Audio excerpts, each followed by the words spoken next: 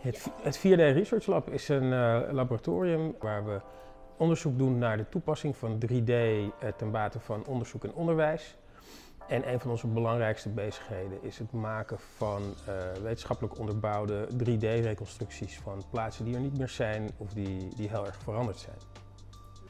Nou, de tools die we gebruiken bestaan uit 3D-technologie in de breedste zin van het woord. En dit, ten eerste gebruiken we uh, allerlei vormen van laserscanning technieken, maar ook fotogrammetrie, waarbij 3D beelden extraheert uit, uh, uit foto's. Het tweede onderdeel daarvan is dat we op de computer zelf um, 3D-onderdelen gaan bouwen in software.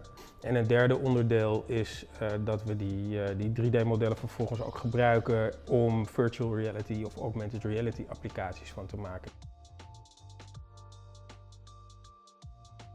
Een voorbeeld is een van de projecten waar we het grootste deel van 2020 mee bezig zijn geweest. Dat is de reconstructie van de Vlooienburgbuurt in Amsterdam. Dat is de Joodse wijk die heeft gelegen op de plek waar nu de Stopera staat. Um, die wijk is afgebroken na de Tweede Wereldoorlog.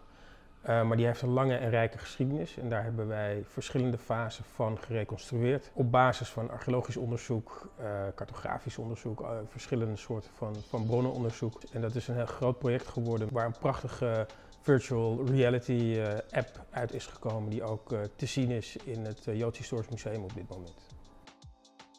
Er zit ook een hele duidelijke wetenschappelijke meerwaarde in, namelijk dat dan enerzijds kan je hypothese toetsen, dus was uh, punt A wel zichtbaar vanaf standplek B, om maar iets te noemen. Maar tegelijkertijd kan het dus ook uh, hele nieuwe vragen opwerpen, omdat je simpelweg nog niet hebt nagedacht in, in drie dimensies over hoe een bepaald gebouw eruit gezien zou moeten hebben.